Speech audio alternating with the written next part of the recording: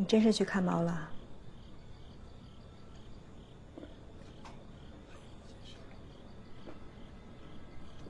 你身体真不舒服啊？没有。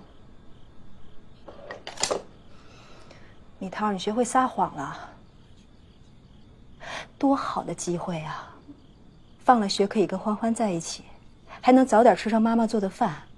功课有不懂的地方呢，还能问问欢欢爸爸。那好不容易给你争取的这次机会，你怎么不懂得珍惜啊？啊？那你是心里有什么不高兴的事吗？跟欢欢闹别扭了？那是怎么了？那是叔叔阿姨还有外婆跟你说什么了吗？没有。那你这孩子怎么了？说话！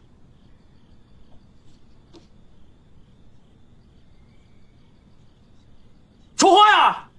问你话呢，跟个闷葫芦一样。好了，你喝你的酒。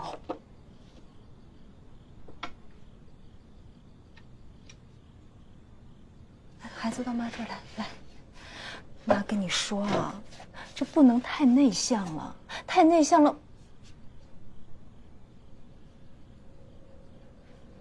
太内向了不好。妈妈、爸爸把你接到这儿来上学呢，就是希望能跟城里的孩子一样，你要跟他们学习。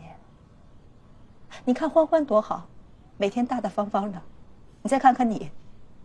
恨不得每天贴着墙根边底下走。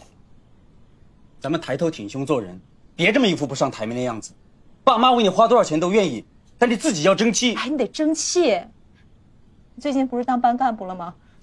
那你跟同学们关系处的怎么样？嗯？说话，孩子，说话。人家孩子和爸爸妈妈热热闹闹，有说有笑的，你倒好啊！你是对我们有什么意见吗？还是哪不满？你说话呀！你说话！